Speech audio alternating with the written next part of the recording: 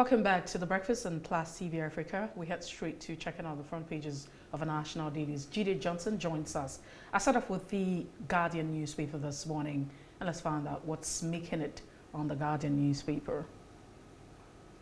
All right, the bold story says, intrigues as police parade 14 alleged invaders of Odili's home. That's a bold caption. I, I, I, I perceive that it might dominate all of the headlines says journalists, lawyer, police officers, soldiers among suspects. Federal government bullying judiciary to install, instill fear ahead of 2023 elections. Wike alleges. Uh, that's uh, what you find on the Guardian newspaper this morning. Resign now or get sacked. Aggrieved APC stakeholders tell Buni committee. That's on page uh, three. And still looking at the front page of the Guardian. Research Institute begin indefinite strike over government's alleged refusal to honor 10-year impact. Another caption on the Guardian newspaper this morning. Headers kill eight Zangon Katafa native and injures others. Uh, you also have UBA rejects, I take that again. UBA rejects election results and may go to tribunal. Uh, okay, another interesting caption on the Guardian newspaper. You also have 24 million people living with diabetes in Africa, says WHO and IDF. And uh, just before I move away from the Guardian newspaper, troops bust 20 illegal refinery sites and recover crude. That's the much we can take on the Guardian newspaper this morning. Daily Independent. It says the raid on Justice Odili's home AGF Malami rattled as CSP claims he works for him. Hmm. Police arrest and parade CSP and 13 others over invasion. Suspect linked to raid not our staff, says this day newspapers. Also, bandits invade FUT Minna and uh, host community, kill one, abduct two. INEC to present uh, certificate of return to Soludo today, says Anambra gubernatorial poll held under trying circumstances. Also, progressives are waiting for you, Lawan tells Abia governor. We can also find here jailbreaks, 3,906 inmates on the run, 954 recaptured, says minister. Airport concession, Falana asks Sirika to disqualify three firms over RFO. And Andy Uba rejects Anambra gubernatorial poll, says it did not reflect the wishes of Anambra voters accuses INEC and security agencies and APGA of massive fraud. The Daily Trust newspaper this morning, Justice Odili, prime suspect, Malami trade words. It's boldly written. And you also find uh, the writer saying, I consult for the AGF. He's drowning. That's what the minister is quoted to say. Whistleblower claims, I am prayer warrior. We'll get to the root of the matter. NBA says uh, this is some of the uh, headlines on the Daily Trust. And another one says, shippers to cut demurrage empty containers charges after strike threat. Buhari cautions world leaders against hoarding COVID-19 vaccines. 13 Nigerians die in Niger Republic gold mine collapse. And missing Vanguard reporter found dead. That journalist quite sad, uh, you know, for the entire community. Nigerians can look after themselves if infrastructure is in place. That's what the president is quoted to say. And 5G has no health effect to reduce data costs. That's what the NCC is quoted to say. Uh, that's the much we can take on the Daily Trust newspaper this morning. And quickly on the nation, uh, governors, AGF Malami working for consultants. Uh, war over Paris Club refund uh, rages. $7 million for two-page letter raises dust. $7 million for two-page letter raises dust. Minister insists states and local governments can't back out. We can also see here Andy Uba rejects Anambra governorship results and uh, also infrastructure will help Nigeria grow faster. Why our debt profile is rising, that's from the federal government. And also fake CSP and cleric among alleged invaders of Odili's home. Jide, uh, Johnson, good morning. Thanks for joining us. Good morning, Good morning, Mercy. And good morning to viewers all over the world. Very interesting stories uh, across the papers this morning. Yeah, the stories are. But, but I, I guess um, the general story is the issue of um, the invasion of Justice Odili's own. And then two of the stories are tied to or the major headlines are tied to the Minister of Justice and the Attorney General of Federation. But let's start with the story of Justice Obi, which is important to the sanctity of our democracy and the sanctity of our mental health. And because that invasion assaulted and assuaged the feelings of a lot of Nigerians, because we have seen a consistent pattern under this present administration for an attempt to be made to assault the judiciary. And don't forget the fact that four justices of the Supreme Court houses were raided um, prior to 2019, and then towards the tail end of 2019, the, the, the Chief Justice of the Federation of the Federal Republic of Nigeria, an independent arm, was subjected to this kind of treatment. Now we are witnessing this, and we are seeing a situation whereby they are telling us in the Federal Capital Territory of the Federal Republic of Nigeria that some some some some criminal elements, some state elements, we parade themselves as state institution to harass a justice of the Supreme. In the second highest ranking member of the Supreme Court by non-state actors and criminal elements, and fingers are being pointed at the chief law officer of the state. And they are parading this suspect, and the, we are seeing um, counter accusation. The minister will say, the suspect said, I'm working for you. And the minister is saying that, oh, you know what, you are a drowning man. In this, in actual sense, this would have even made that a mere allegation, this weighty allegation, is leveled against your chief law officer, the attorney general of the federation, calls for him to even resign. There's, there's no debate about it. It, it calls for him to step down until, because whatever investigation you are doing, with respect to this matter, we get to his table. How can the attorney general be the judge as well as the accuser and the prosecutor of his own of his own of his own case? It's, it's, it's unbelievable. That's it. So it is easier if that could happen to a chief to a justice of the Supreme Court. That means that it could happen to you, it could happen to me, it could happen to anybody. And I remember the national lottery program that we had in this country one time, and they said, if it be you. So I'm saying to everyone that is watching and to everyone that is listening that if it be you, that this could happen to. That people could use non-state actors and those non-state actors will parade themselves as state actors and then they will be linked to the Attorney General well, Judy Johnson, do, do we? Judy Johnson, apologies. Yeah, apologies. I just wanted to ask: Do we really believe that narrative? And then, second, how how did they get a search warrant or what or, or whatnot from the from the uh, uh from the court? It means that we have rogue institutions. Our institutions have gone rogue.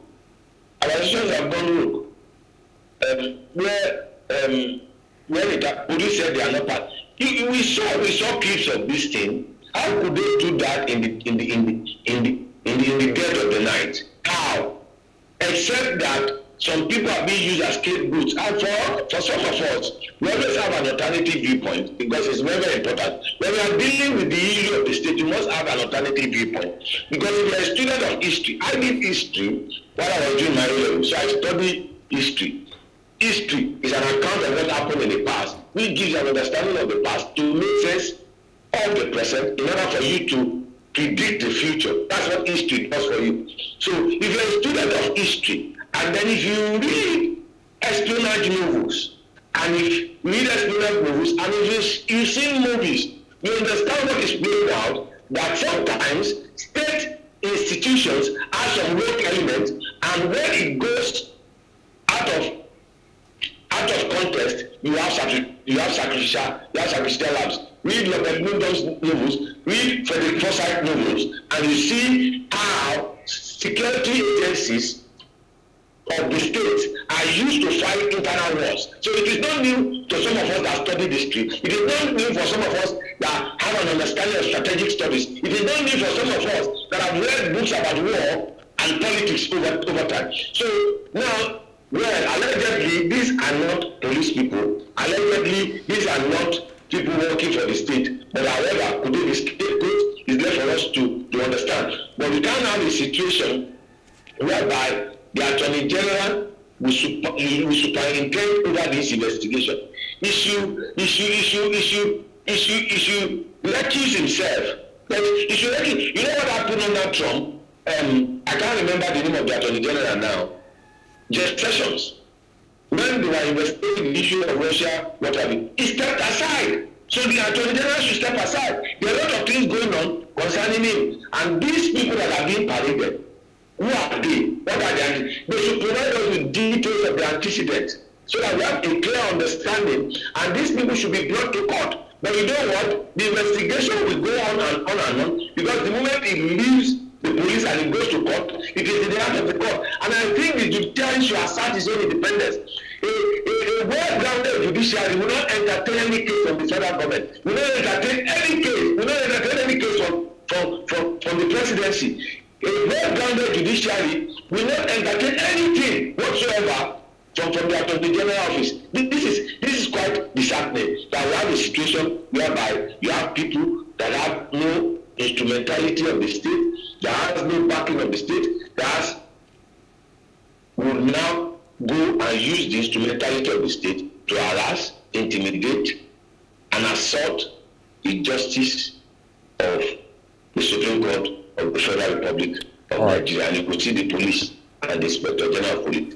All right. The police let, let, and, the, and the Attorney General exchanging, exchanging. Um, it's it's it's sad. It's sad. You should you should, you should not be threatening him or what have you. The of renters Okay, uh, let's quickly uh, let's quickly also um, um, you know look at it. it's more like a follow up to that. But on the Guardian newspaper this morning, the federal government bullying the judiciary to instill fear ahead of 2023 elections. I mean, according to the governor of River State, yes. We saw that trend. We saw that trend towards 2019 elections. Towards 2019 elections, when the houses of four justices of the Supreme Court were raided, four the houses were raided The, the houses were before justices of the Supreme Court. The houses were raided. So we are, we are, we are beginning to see a pattern, a pattern that we didn't even see under Abacha, a pattern that we did not even see under Buhari, a pattern that we did not, that we believe can never happen in Nigeria. What the military did to stifle the judiciary under them is to have ouster clauses. Those ouster clauses are that you know what the court cannot make any pronouncement concerning this. The houses of Supreme Court justices were not invaded. Were not invaded. This is sacrilegious. And to tie this with a story which you shared before, which was not in the papers, that the minister of the minister of uh, labor and productivity is complaining that Nigerians are leaving the country. Well, he should ask himself, because as a student of history, I knew who was the head of state when Nigerians were leaving this country in 1984 and the same condition that existed then are the same conditions are repeating itself now. That's what we call history repeat itself syndrome in history so so it's it's it's it's, it's, clear. These people have no democratic values. They have no respect for democratic institutions. They just believe that since they control the state the state institution they are personalized state institution. And i remember in 2018 I remember 2018 after the NBA conference when the president gave a speech and he said rule of law will be subjected to national security and national interest. And I said no, At the program. And I said, no, there is nothing called national interest. The national interest is the citizen interest, it's public interest. It's not the personal interest of the president or his agents or the agents of the state. Rule of law is sacrosanct, equality before the law, supremacy of the constitution. Now, in this regards, and respect for institution, fundamental human right, every citizen has a right. All right, Jide Johnson. And this is this is this is this is pathetic. Now, Asawide, if you link this story to an economic story, which is the story of the Paris Club fund reform, where the governors are saying that um, they are not going to return, then the minister insists that the the the the governors will refund the loans they collected. Yes. State and local government cannot back out, and then the the the governors are saying that the attorney general is working for consultant. Can you imagine? And then you read a a a byline of that story that a a a writer to that story that says that seven million dollars for two page letter. I saw your shock and embarrassment for this nation. And the story revolves around who again osaruyi mercy. Please have mercy on me the story revolves around who again? At the same age. around Yeah. the attorney general. Can you imagine? Revolves around the attorney general. Can you imagine? You recall the war between the attorney general and the former efcc chairman. Recall the war. Why is everything around this attorney general? I don't understand and i don't know Well, Jide Johnson, let, let's let's um, because because of time. this particular story Yeah, hello yeah. I, I was going to say because of time. Let, let, let's uh, can say something. let's let's leave Malami Malami alone briefly because of time, and go to uh, Anambra State where Andy Uba has rejected the outcome of the the uh, Anambra elections, and of course uh, he's saying that he will. Uh, approach the courts. He says it's on, it's on the nation. Says Andy Uba rejects Anambra governorship results.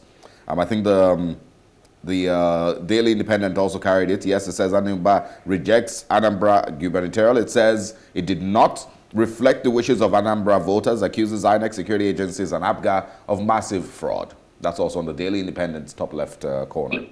let, let him go let him go to court and prove his case the courts are there for him to prove his case if he has the evidence let him show but um, to a large extent um, the election was transparent enough for everybody to see but if he feels aggrieved he should approach the court INEC is going ahead today to award the certificate of return to Soludo said they are going to give Soludo the certificate of return um, the election in Anambra was a relief to everybody. We are told that there won't be an election, um, pre-election um, stakes were high, the violence, the threat of violence, the threat of no election and the rest of it. And the election has come and gone.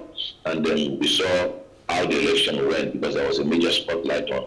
And, and to a large extent, INEC did fairly well, um, fairly well with respect to that election. But I've argued that the issue of these supplementary elections um, uh, are antithetical to the Nigerian Constitution. Section 179 of the 1999 Constitution as amended makes explicit for provisions for who to be declared as the governor. These supplementary elections, you have it in a national election, it will create problem. I've highlighted that over and over and over again. Anything that runs contra- any act that runs contrary to the constitution, the constitution takes precedence over over over that. When we are going for an election, everybody should know should vote, and we shouldn't know the result of the election until the result is announced. Once you start announcing results, some people shouldn't vote again. These votes have been corrupted because their mind has already been made up with respect to who they are going to vote for. And then there's an issue related to that, which is some members are calling for the resignation of the caretaker um, chairman of the APC that um, the way he has handled the party and the congresses that they should resign. It's, it should be good awakening for the APC that they are operating, they are having an, they are having an, an unconstitutional system and it will affect you. If you don't put your house in order, it will affect you. Two elections have come and gone under Buni and Buni has left that election. The Edo election and the and the and the um, and um, the Anambra how did they manage it? The FCC should have a post-mortem and then for them to have an understanding of whether, whether the arrangement they have is working for their party or is working against their party. They need to have a clear understanding of what they are doing with respect to that. Some have called for his resignation, but for, for as far as I'm concerned, that system is an illegal system. A party cannot be run in an interim affair. A party should have a structure. Now, if you have people that do not have respect for the concern of their party, they will never have respect for the concern of Nigeria. We have that's that's it. We have just asked us to move away from the AGF. We keep going back to him. Everything is around. This committee was sworn in by the AGF in the State House of the Federal Republic of Nigeria. That's an impeachable offense. Impeachable offense for the Attorney General, impeachable offense for the President of the Federal Republic, using the resources of the state to promote and propagate his party's agenda. And not only that, it's all the governors that are committing this crime, putting the flag of their party behind them in state house. The state, the flag that should be in the state house of all state house in all local government should be the flag of the Federal Republic of Nigeria, not the flag of any party. That's a constitutional issue. That's an impeachable offense. If they are doing it today and they are getting away with it, tomorrow the that we use that to impeach them from office. When the level of political education and sophistication has gotten to, to a certain degree. So let Aki now go to court. He has the right to go to court. Let him go to court. The court will rule but the election is um, is sacrosanct. But we hope that uh, we have a situation of what we have in Imo State, and whereby the person that came forth was declared as a governor, and result sheet were brought that were signed on papers, on, on, on sheet of paper, were used to declare the winner of the election. In an election whereby we are the first, the winner, the first runner-up and the second runner-up are not declared as the winner, and then the fourth one as declared. And that's the reason why the judiciary itself needs to put house in order. They need to assert their independence and they need to be just and to be fair. All right. Uh, Jide Johnson, let's uh, move away from Anambra State and also uh, look at the concerns of Mr. President. He cautions world leader against hoarding COVID-19 vaccines. What are your thoughts on that? Of the enemy Yes, we can. Yes, we can. It's, uh, yes, it's not very clear, but go ahead. Uh, the, the, is as a result of the judiciary not asserting itself over time. We have to do this Frankenstein monster, and this Frankenstein monster itself is consuming the judiciary itself. So the judiciary needs to take, they, they need to stand back and look at what do we need to do to help this particular this particular um, system. The All right. an institution, the executive is an institution. Let me link this story, please. Just give me. Let me link this story to National Assembly because we are talking about this one. The National Assembly is using 60 million plus dollars to build solar system. 60 something million dollars. I'm trying to look for that story. To build solar system for the National Assembly. I'm trying to 62 for solar power project sixty-two million dollars ọsàrògbè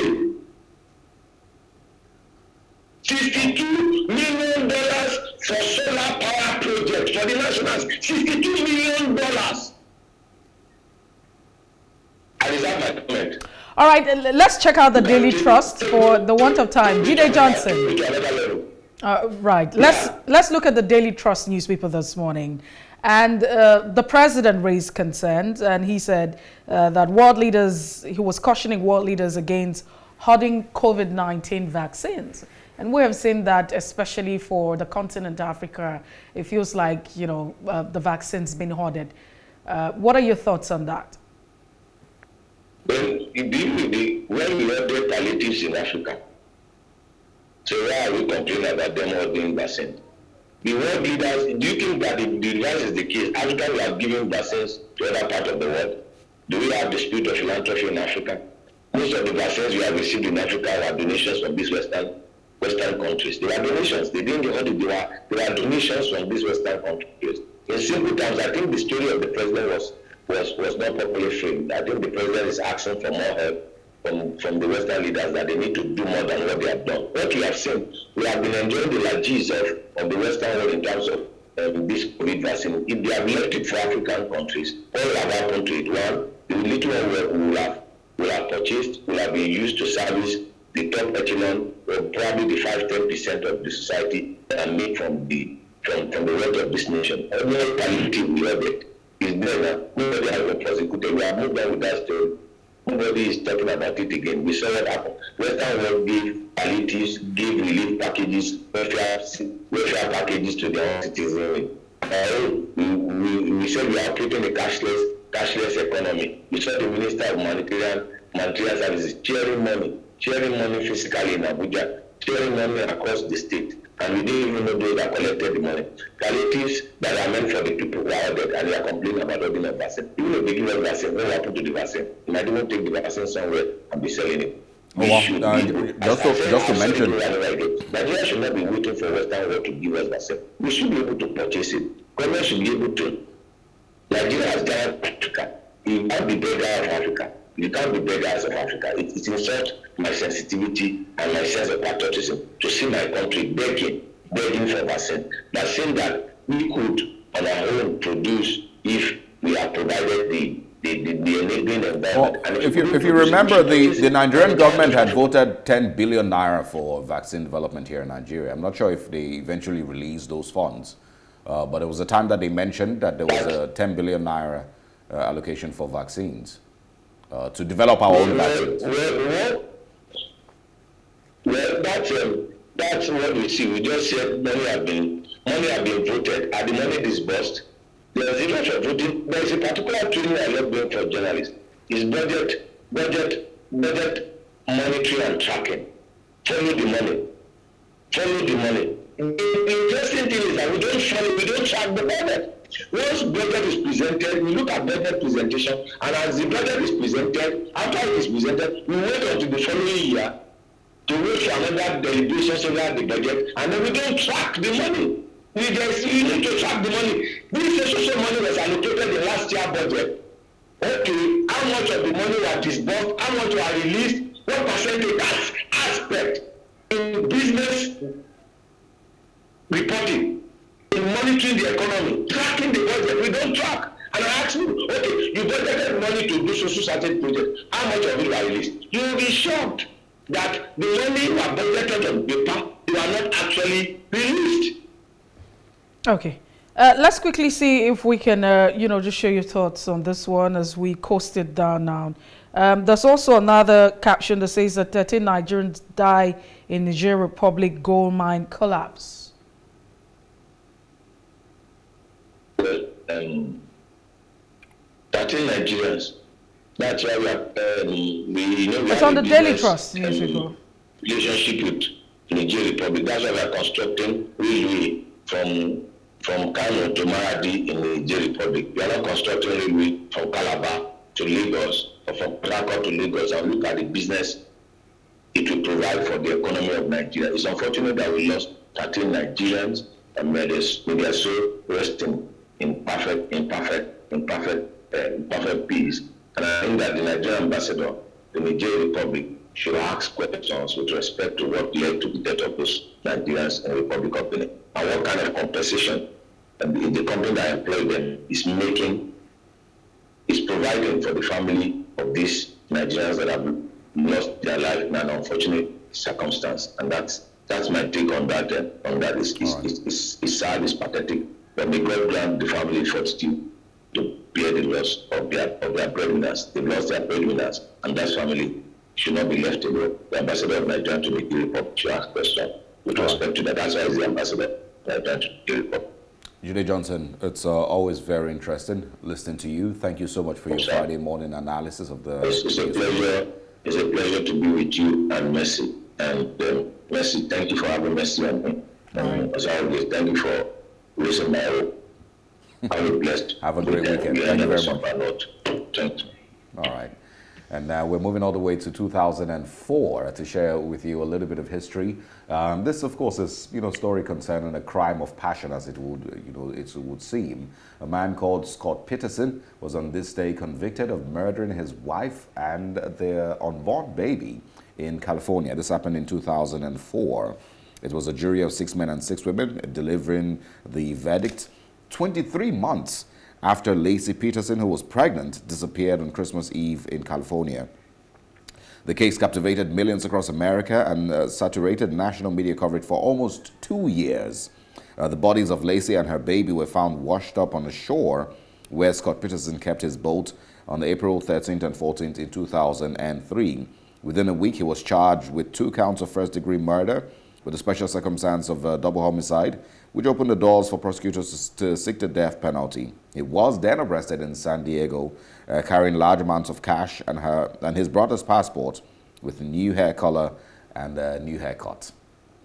Um, of course, uh, he eventually pleaded not guilty, uh, but of course that didn't go so well. Prosecutors introduced 174 witnesses and hundreds of pieces of evidence designed to paint Scott Peterson as a cold and heartless man who continued to lie and cheat on his wife, even as he appeared on television feigning despair over her disappearance. He was formally sentenced to death by lethal injection after his uh, trial. But that's the story of uh, Scott Peterson and um, his wife, Laci Peterson, and their baby. Really sad. Once again, uh, either a crime of passion or a crime of just greed. It's a crime. Uh, yeah, useless husband. Pray against such husbands. Definitely. We're going to go on a short break. When we come back, we're looking uh, deeper into the invasion of Justice Mary Odili's residence. And of course, uh, different stories coming from the police, the NBA, the AGF, and the prime suspects. We'll talk about it after this break.